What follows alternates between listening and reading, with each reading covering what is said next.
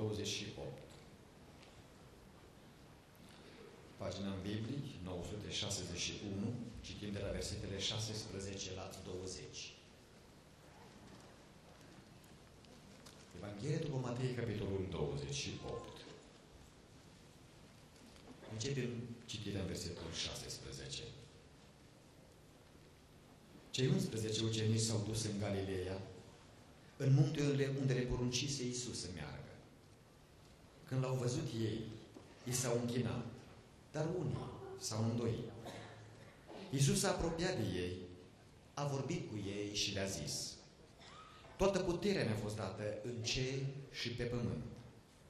Duceți-vă și faceți ucenici din toate neamurile, botezându-i numele Tatălui și al Fiului și al Sfântului Duh.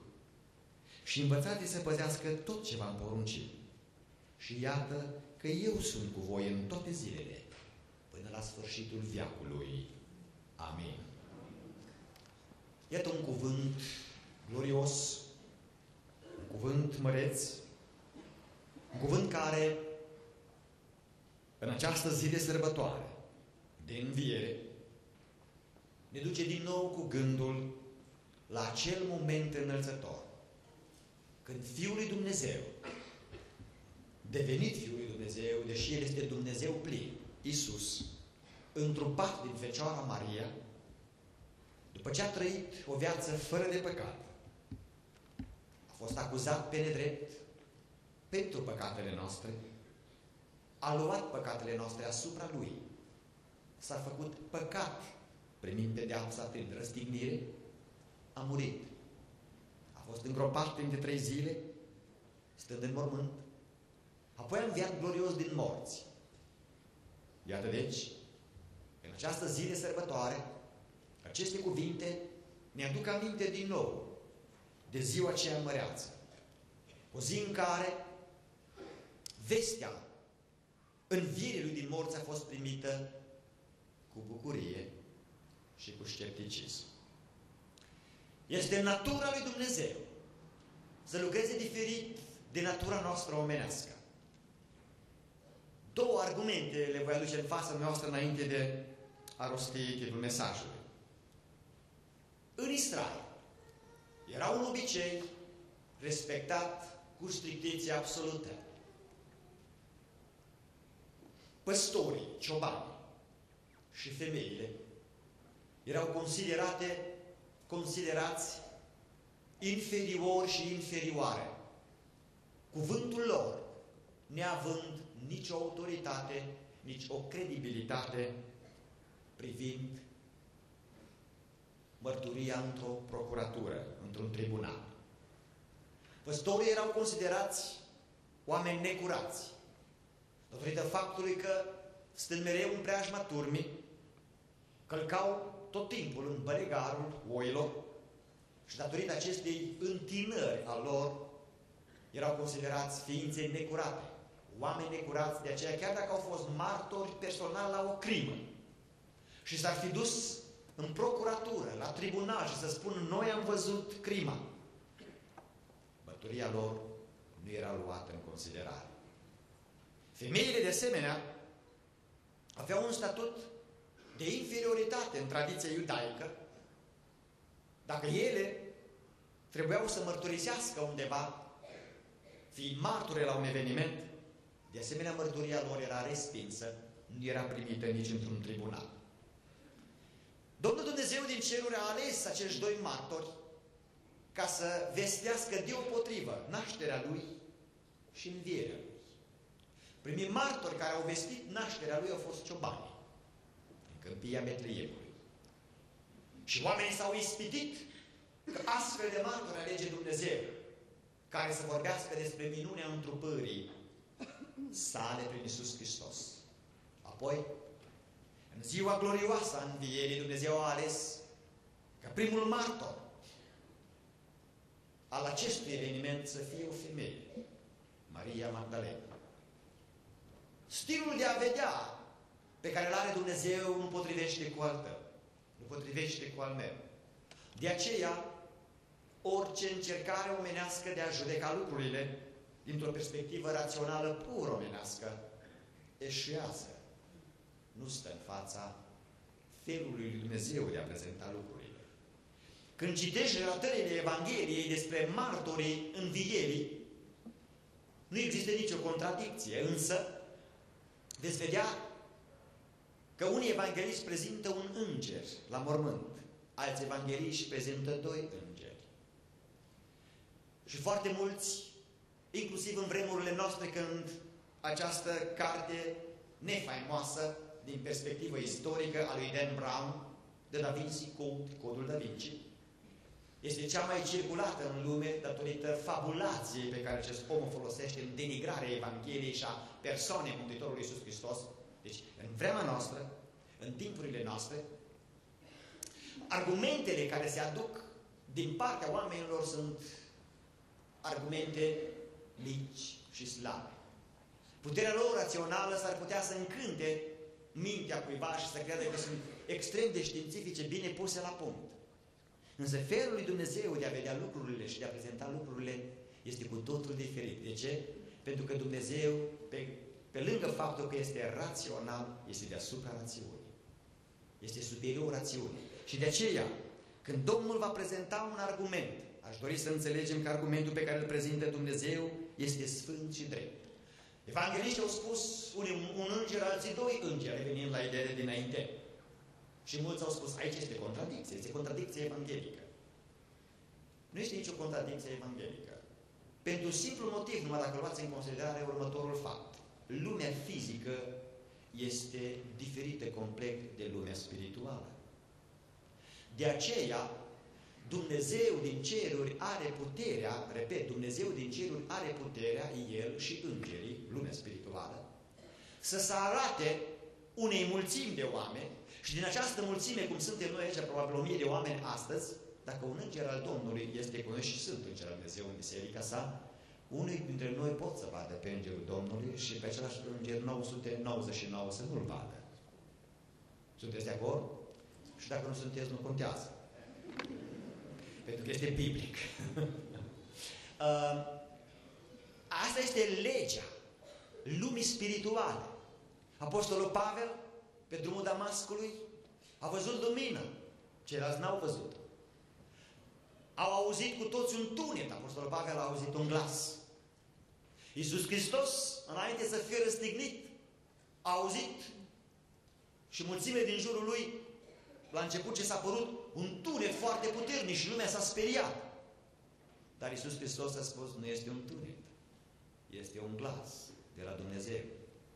Acesta este Fiul meu prea iubit care îmi găsesc plăcerea. Cuvântul este pentru mine.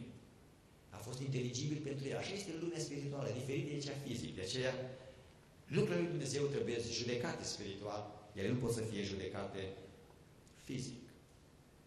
În pasajul pe care l-am citit, Mântuitorul Iisus Hristos a arătat ucenicilor, celor 11, pentru că Iuda a dispărut din mijlocul lor. Și în această arătare a învierii sale, Iisus Hristos vorbește despre învierea lui din morți și cum era de așteptat. Pentru că n-au crezut că el va mai învia din morți. Unii au crezut, alții s-au îndoit. A trebuit să treacă o perioadă de timp până când toți apostolii au putut să creadă în el și apoi să se instaureze și să se întemeieze biserica creștină.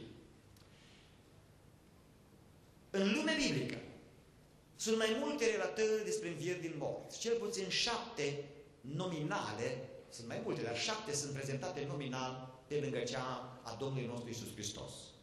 Fiul Sunamitei, 2 Împărați, capitolul 4.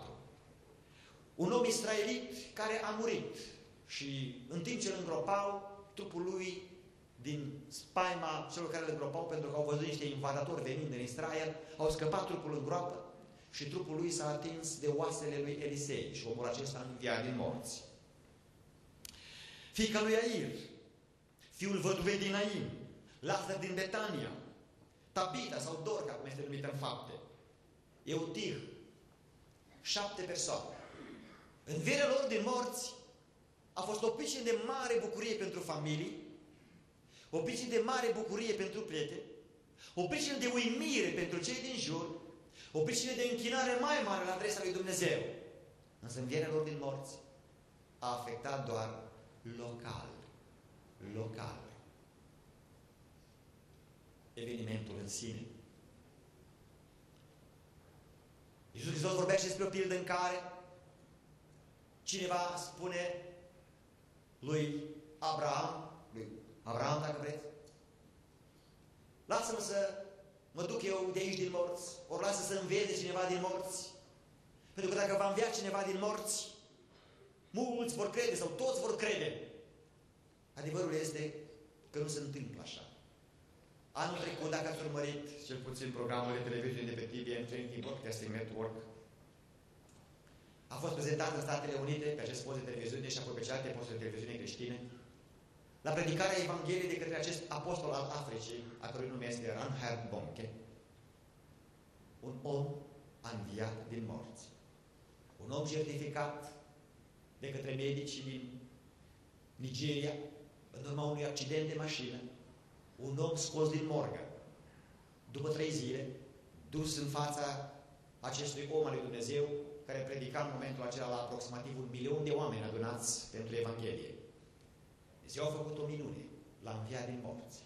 Au fost tratative multe între guvernul american și nigerian ca să-i permită acestui om, care era păstor, să viziteze Statele Unite. A venit aici și a prezentat mărturia, a prezentat documentele. Pe câți a influențat? Pe câți? Puțin. Singura moarte și înviere care a influențat întreaga lume este moartea și învierea lui Isus Hristos. Amen. Aceasta dovedește că El este singurul deasupra omenirii. Singurul diferit de omenirea aceasta pe care noi o cunoaștem. El este deopotrivă om, dar în același timp a rămas Dumnezeu și este Dumnezeu. Iisus Hristos, cel înviat din morți, este Fiul lui Dumnezeu. Și în pasajul pe care l-am citit, în arătare pe care el o face, el ne prezintă o biruință de plină asupra morții. Deci e mesajul pe care îl voi prezenta în seara aceasta în Biserica Emanuel, în numele Domnului Iisus Hristos, se intitulează Plinătatea învierii lui Iisus. Plinătatea învierii lui Iisus. Sunt patru lucruri pe care Iisus Hristos le prezintă acum la înviere.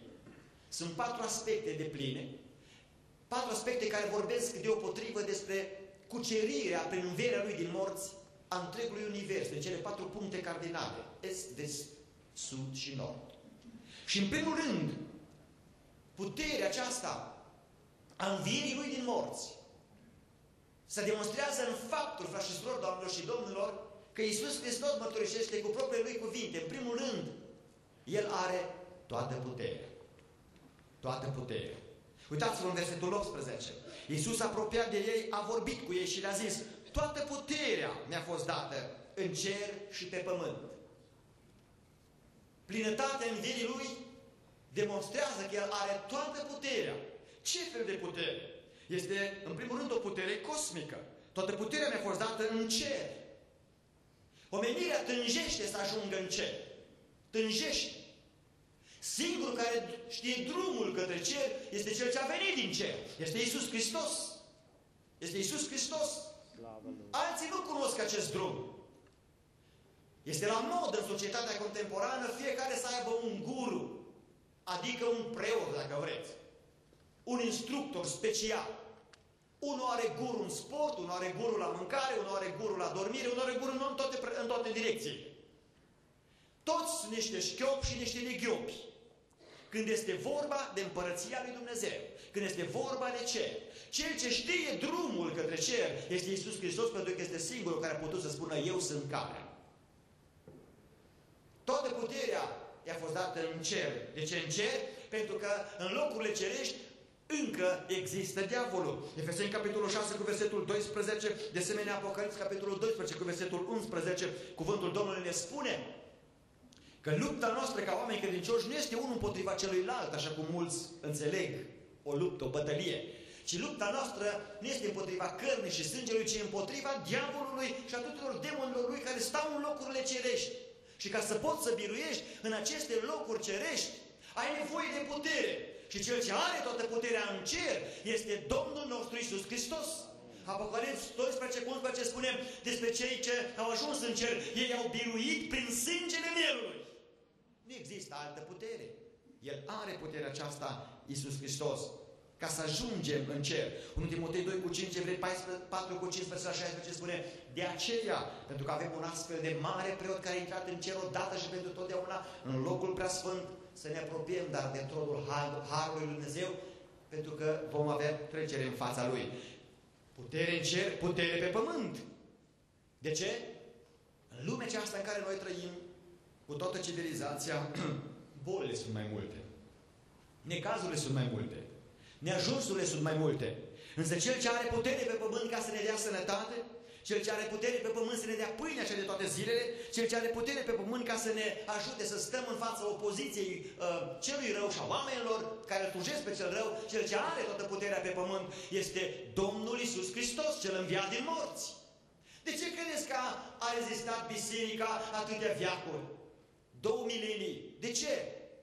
Pentru că biserica este o instituție slabă? Nu! Biserica reprezintă aici pe pământ, este trupul spiritual al Domnului nostru Isus Hristos. El a promis că își va zidi această biserică și continuă să o zidească până în momentul în care se va întoarce glorios din nou, ca să vină să-și ducă biserica aceasta, care încă va fi în viață, la cer, la el. Și în lumea aceasta în care opoziția din partea oamenilor și a celui rău s-a ridicat împotriva ei, în lumea aceasta, noi, românii, nu? Cei mai mulți care sunteți cel puțin de vârsta mea, venim și avem într-o țară un, un regim comunist, un regim ateu, s-a ridicat împotriva Bisericii lui Hristos. Însă regimul comunist a dispărut ca și cel hitlerist, ca cel stalinist, ca Napoleon, ca toate regimurile dinainte, însă Biserica lui Dumnezeu merge înainte. Fiindcă Iisus Hristos este viu. Dacă am slujit un Dumnezeu mort și biserica ar fi o biserică moartă. Să Dumnezeul nostru este viu. O putere, o putere cosmică. Pe de altă parte este o putere împărtășită cu noi. O putere împărtășită cu noi. În fapte, capitolul 1 cu versetul 8 spune Și voi veți primi o putere când se va coborâ Duhul Sfânt peste voi. Mântuitorul Iisus Hristos a înviat din mort și a spus Toată puterea mi-a fost dată mie. Însă mă voi întoarce la cer, acolo de unde am venit. Și după ce mă voi întoarce la cer, am să vă trimit pe Duhul Sfânt. Este a treia persoană din Dumnezeu, din Dumnezeire. Și când acest Duh Sfânt va veni la voi, o să vă umple de puterea care este în mine. Pentru că eu am înviat din morți prin puterea mea, prin puterea Tatălui Ceresc și prin puterea Duhului Sfânt. Și când Duhul Sfânt va veni la voi, El vă va călăuzi în tot adevărul și vă va da putere ca să puteți să rostiți cuvântul mărturiei, cuvântul mântuirii, cuvântul despre Dumnezeu. Mulțumim Domnului pentru acest Duh Sfânt. Ați auzit probabil această ilustrată, o reauziți din nou astăzi, prin Sahara. Și astăzi sunt aproximativ 2 milioane de nomazi, de beduini. 2 milioane. Datorită ținutului acesta arid și a ținutului nisipos care există în Sahara, aproape că nu sunt repere pe care cineva să le marcheze ca să poată să călătorească într-o direcție sau alta. Aproape că nu sunt repere. De ce? Pentru că vânturile care suflă aproape în continuu peste aceste ținuturi deșertice schimbă poziția reliefului. La un moment dat poți să ai în fața ta un munte de nisip, peste o oră poți să nu mai ai muntele acela acolo și poți să-l ai în altă parte. Pentru că vântul poartă și mișcă acest munte. De ce beduinii au găsit și au descoperit o măsură, o modalitate de a nu se rătăci în, în furtunile acestea de nisip, în, în, în ținutul acesta arid și fără putere de orientare. Ei poartă cu ei și astăzi niște cuști în care au porumbei. În care au porumbei. Atunci când dezorientarea lor a atins punctul maxim și nu mai știu încotro să se ducă, știți ce fac? Deschid o cușcă din aceasta și dau drumul unui porumbel. Porumbelul a ieșit din cușcă, se învârte de câteva ori deasupra lor, în zbor, și după ce se învârte puțin deasupra lor, porumbelul ia o direcție. Întotdeauna, întotdeauna, fără greșeală, porumbelul se întoarce înapoi din direcția de unde a venit. Socotind direcția de unde au venit, beduinii știu apoi în ce direcție se duc, pentru că imediat se orientează. Frați și surori, doamnelor și domnilor, am o veste bună. Iisus Hristos are toată puterea în cer și pe pământ. Pe pământ ne-a trimis și nouă, din puterea Lui, ne-a trimis și nouă pe Duhul Său cel Sfânt, pe Duhul Sfânt al Lui Dumnezeu. Și pentru că nu știm care acolo, de unii singuri, a venit porumbelul ceresc, a venit porumbelul lui Dumnezeu. Și porumbelul acesta știe de unde a venit. Duhul Sfânt știe de unde a coborât. Și calea spre cer este o cale deschisă către oricine.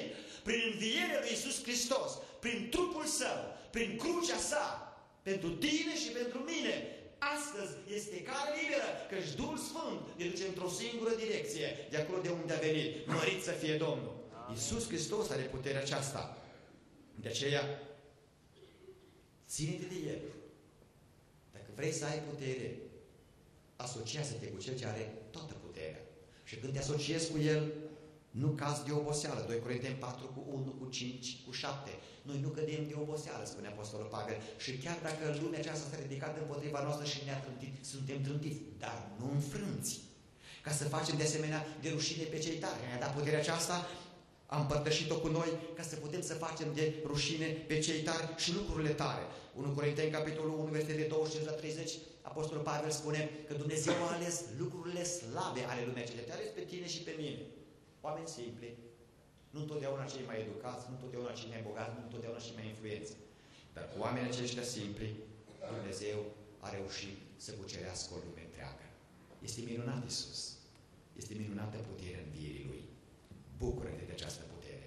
Iată că primul lucru care dovedește plinătatea învierii Lui este că El are toată puterea.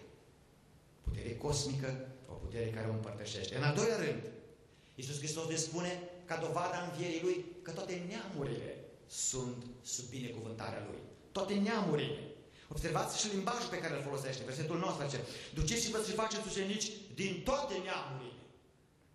Iisus Hristos nu are grijă numai de evrei, fiind un evreu prin naștere omenească. El are grijă de toate neamurile. De ce? Pentru că dragostea Tatălui Ceresc este a noastră, a tuturor. Ioan 3 cu 16.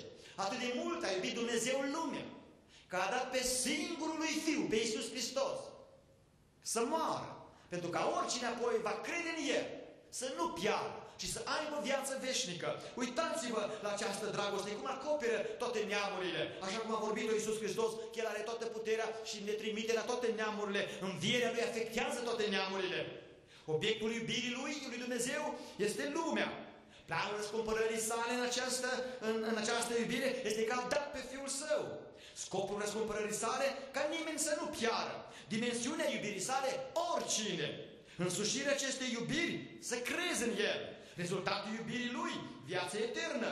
Originea salvării divine, Dumnezeu Tatăl, atât de mult a iubit Dumnezeu lumea.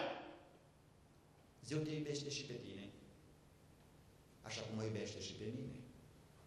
Dumnezeul nostru a lucrat și lucrează de așa manieră prin Domnul nostru Iisus Hristos, încât, frați și surori, doamnelor și domnilor, în acoperirea aceasta, prin puterea învierii Lui a tuturor neamurilor, Dumnezeu vorbește despre egalitatea neamurilor și egalitate personală, ca o realitate în Hristos. Ca o realitate în Hristos.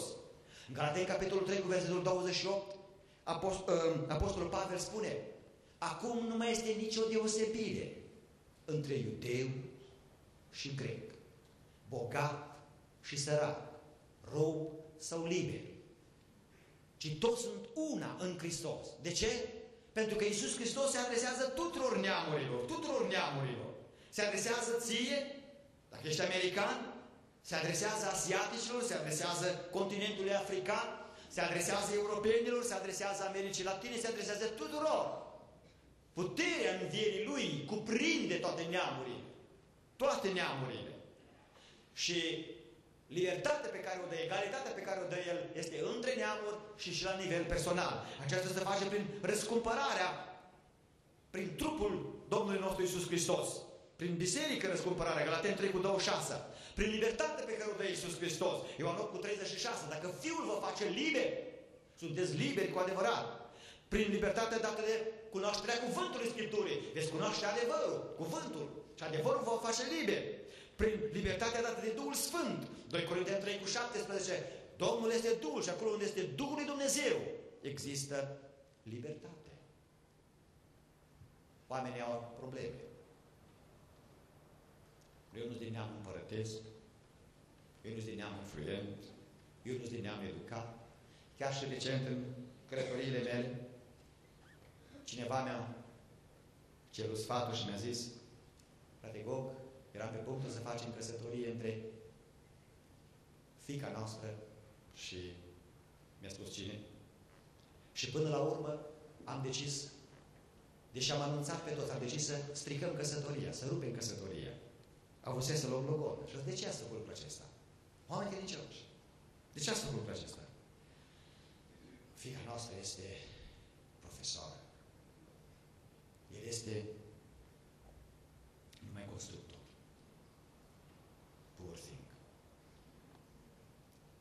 El este numai constructor. Oamenii fac diferențe. Nu Domnul Isus Hristos. El nu caută la fața omului. Cuvântul său ne spune clar. El nu caută la fața omului. Și el se uită la fiecare în egală măsură. Mergeți să propovăduiți Evanghelia la toate neamurile. La orice făptură. La fiecare. Pentru că în fața lui Dumnezeu nu se are în vedere fața omului. Și pentru că nu se are în vedere fața, în, în vedere fața omului și toate neamurile sunt privite egale înaintea lui, Uitați-vă la acest al treilea aspect pe care îl voi enunța în această idee. Duhul Său cel Sfânt înnobilează pe toți lucrătorii în egală măsură ca să vestească Evanghelia pentru Mântuitorul nostru Isus Hristos. Uitați-vă, de exemplu, în America. Un om educat, un om cu influență extraordinară, evanghelistul american Billy Graham. Însă, dacă vă, vă uitați în istoria bisericii la începutul secolului al XX-lea, unul dintre cei mai influenți predicatori a fost țiganul Gypsy Smith. Nici patru clase n-a avut. De ce? Dumnezeu nu se uită la educația ta, nu se uită la proveniența ta națională, nu se uită la nimic din ceea ce ispește și face diferență între oameni. Dumnezeu se uită la inima ta care este predată Lui.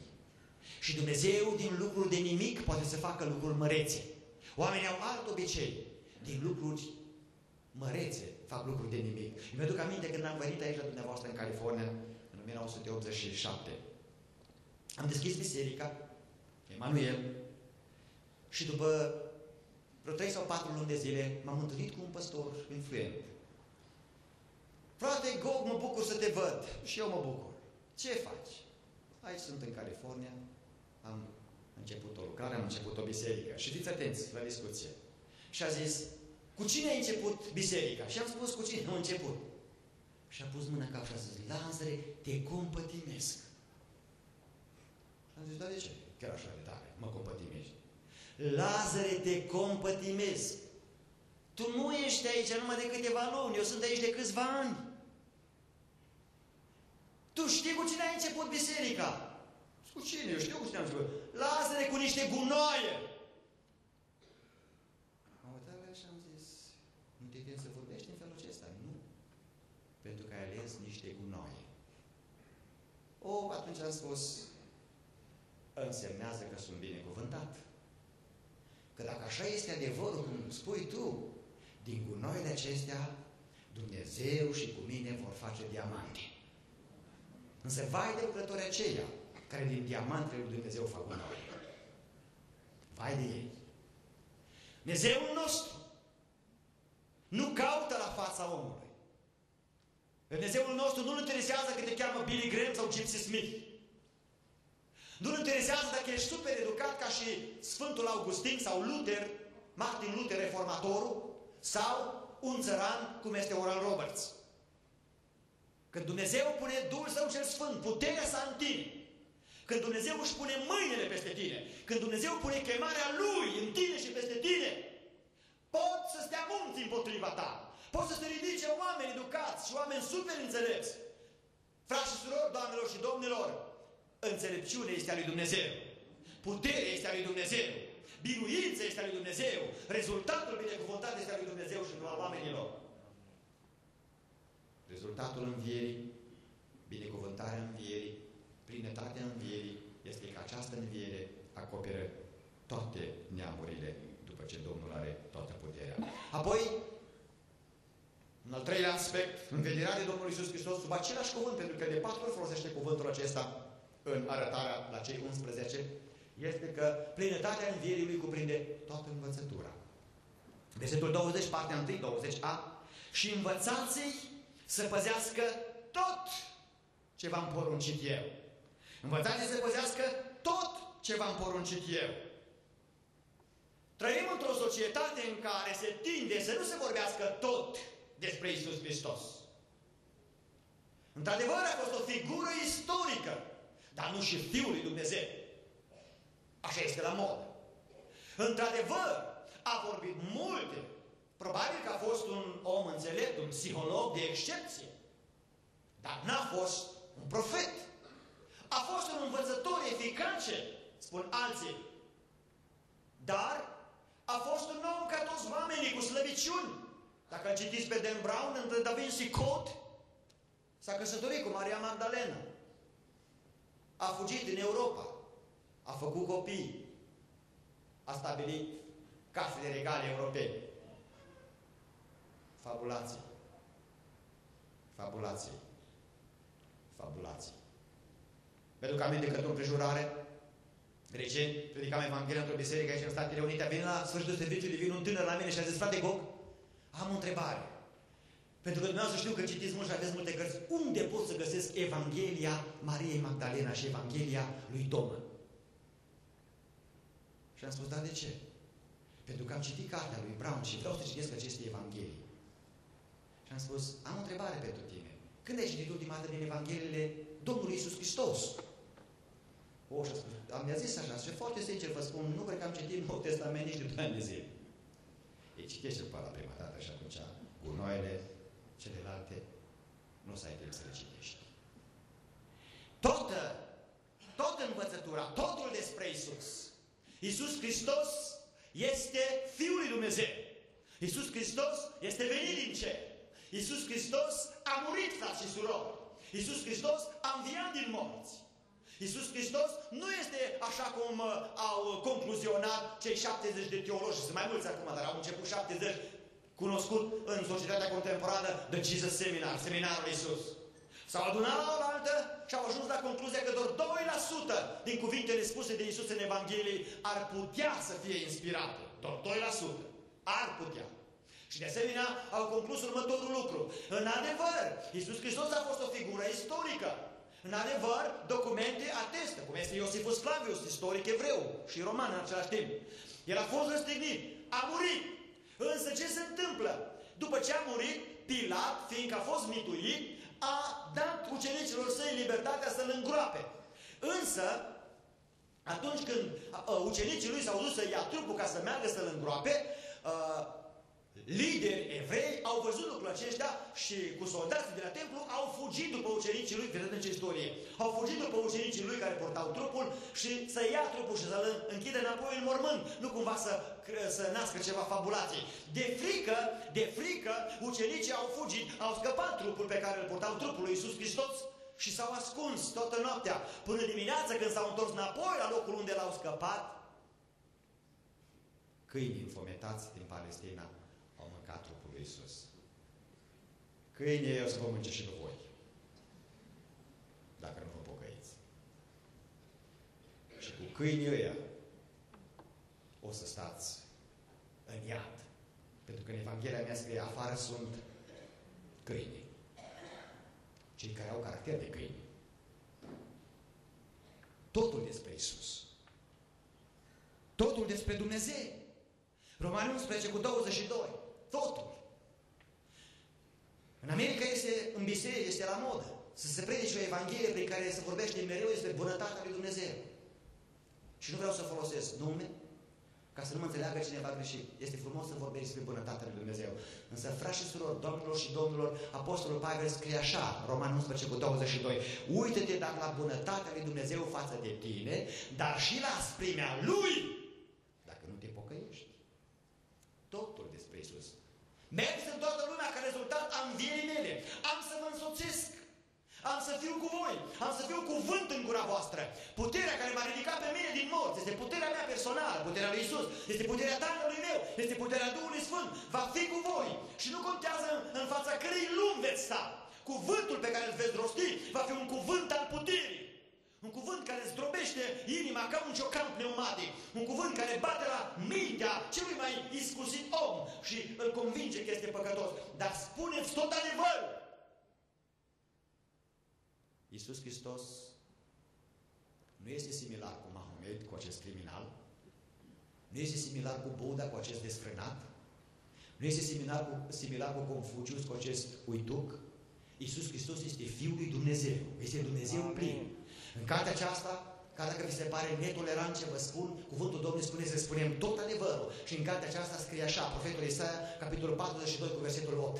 Eu sunt Domnul și eu nu împart slava mea cu oameni muritori. Singurul Dumnezeu este Dumnezeul cerurilor, este Dumnezeul Scripturii, este Dumnezeul lui Israel. Și în această numire de Dumnezeu sunt trei persoane coegale, coeterne, coputernice. Este Tatăl, este Isus și este Duhul lui Dumnezeu. Mărit să fie Domnul. Și de aceea, când vorbim ca rezultat al puterii învierii lui Isus Hristos, a plinătății Lui, vorbim despre despre plinătatea lui Isus, despre plinătatea Tatălui. Când vorbim despre sfințenie, vorbim toate lucrurile despre sfințenie. Dacă vorbim despre sfințenie, vorbim despre păcat.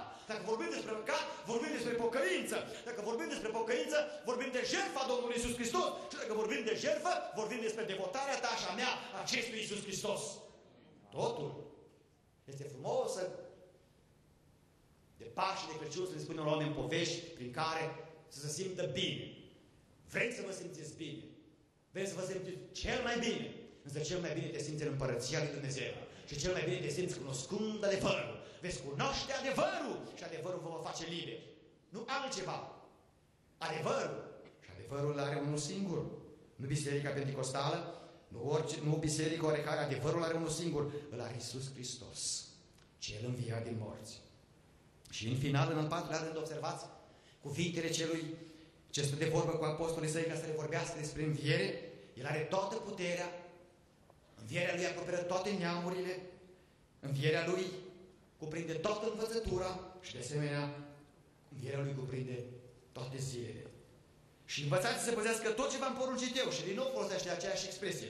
Și iată că eu sunt cu voi când? În toate zilele. În toate zilele.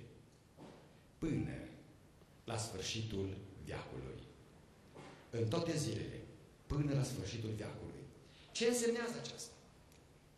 Aceasta însemnează că cel înviat din morți este Domn peste timp. Este Domn peste timp. El este cu noi în toate zilele. În seara aceasta, în Biserica Emanuel, în ziua de, a, de astăzi, pentru cei ce ne ascultați pe internet, sau în ziua de astăzi, pentru cei ce ne ascultați la radio, Oriunde v-ați găsi în lume. Poate că este o zi de amărăciune. Poate că este o zi de durere. Ori poate că este ziua în care ai zis, divorțez. Familia mea este ruinată. Ori poate este, așa cum am întâlnit în multe locuri, în prea multe locuri, ziua în care ai spus, dacă nu vorbește astăzi Dumnezeu îmi pun capăt zilelor, mă sinucid. Să nu faci lucrul acesta. Iisus este Domn peste timp. El este cu tine ca măsura învierii Lui din morți în toate zilele. El este cu tine, El este cu mine. El este Domn peste istorie. În istorie oamenii au crezut, am terminat-o cu Isus. Am terminat-o cu Dumnezeu. Am terminat-o cu Evanghelia. Am terminat-o cu Biserica. Dar revin din nou la ceea ce spuneam și ceea ce cunoașteți așa de bine. Imperii s-au ridicat și s-au prăbușit. Oameni influenți și puternici s-au ridicat și nu mai sunt. Oameni care și-au făcut o profesie din a lovi în bunoară în Dumnezeu și în biserica sa. Unde sunt? Unde sunt? Însă Iisus Hristos este același. Ieri, azi și în veci. El este Domn peste timp. El este Domn peste biserică. El este Domn peste viața ta. Este? Amin. Cea mai mare dovadă a învierii Lui din morți. Este nu ceea ce spunem noi de aici de la Învon. Este nu ceea ce citim noi din Evanghelie. Cea mai mare dovadă a învierii Lui din morți este viața ta transformată. Este familia ta transformată. Este viața mea schimbată din obiceiul în care sfidam pe Dumnezeu, am ajuns să fiu un copil care ascultă de Domnul. Dintr-o familie care unul mergea într-o direcție și celălalt în cealaltă direcție, am ajuns să trăim în pace unii cu alții, pentru că înțelepciunea care se coboară de sus este întâi curată, este blândă, este pașnică, este nefățarnică, este ușor de înduplecat, este plină de roduri bune, eu sunt cu voi în toate zilele, indiferent cât de întunecat este ziua de astăzi, indiferent cât de mare norocirea peste tine în ziua de astăzi, indiferent, frați și surori, doamnelor și domnilor, Iisus Hristos este același. Puterea Lui este aceeași, iubirea Lui este aceeași, influența Lui este aceeași, lucrarea Lui este aceeași. Vrei și tu? să fii a acestui Domn care are toată puterea? Poate potoli furtună din viața ta. Acoperă toate neamurile. Nu contează că ești român, că ești american, că ești asiatic, că ești african. În America Latină, Dumnezeu se ocupă în egală măsură pentru că nu caută la fața omului. Poate te-a supărat predica din seara aceasta foarte bine, înseamnă că te-a pus Domnul pe gândire. Că ți s-a spus probabil o Evanghelie subțire care să te gândire la fire să-ți facă bine. Adevărul îți face bine, adevărul care te eliberează de tot ce este firesc și lumesc, este puterea Domnului Isus Hristos care te pune în picioare când cunoști adevărul. Și apoi Știm că El este aici și astăzi. Vin în fața Lui și spune, Doamne, eu sunt acela cu viața ruinată, cu familia ruinată, cu business-ul ruinat, cu sănătatea ruinată. Doamne, pentru că Tu ești același ieri, azi și în veci. Atinge-te de mine, Doamne. Sau de cei dragi tăi, rude de aproape sau de departe. Smerește-te în fața Lui pentru că El acoperă timpul, acoperă istoria, acoperă cosmosul. Toată puterea ne-a fost dată în cer și pe pământ. Cineva îmi spunea la începutul serviciului să ne rugăm pentru o rudă din Germania. Dumnezeu, în clipa aceasta este în Germania, în clipa aceasta este în România, în clipa aceasta este în Africa, în clipa aceasta este în Asia. Dumnezeu în clipa aceasta este aici. Vin în fața Lui cu închinare. Vin în fața Lui cu recunoștință. Vin în fața Lui și bucură-te că, într-adevăr, el a fost mort, dar este viu în vecii vecilor. El are cheile locuinței morților. El te poate elibera de acolo din puterea păcatului și să te strămute în împărăția dragostei Lui, în paradisul Său. Deschideți inima și împreună cu Domnul ne vom ruga pentru tine, pentru izbăvirea ta. Ne vom ruga ca puterea și din via din morți a lui Iisus Hristos să fie binecuvântarea și izbăvirea ta.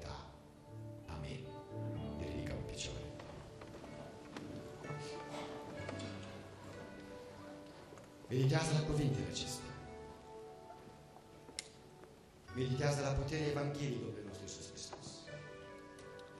Dar meditează așa cum n-ai meditat niciodată. Probabil Paște și Crăciunul sunt pentru tine o poveste frumoasă. Însă Paștele și Crăciunul și fiecare zi trebuie să fie pentru tine o realitate. Iisus Hristos trăiește. El este Fiul lui Dumnezeu. El este Mântuitorul lumii. El este Mântuitorul meu personal și a casei mele. Dar El poate să fie și Mântuitorul tău. De aceea te invit. Pleacă din ființa ta și roagă de acestui Mântuitor. Spune, Doamne, vin în viața mea. Pentru că ai spus că ești cu noi în toate zilele. Vin în familia mea, Doamne.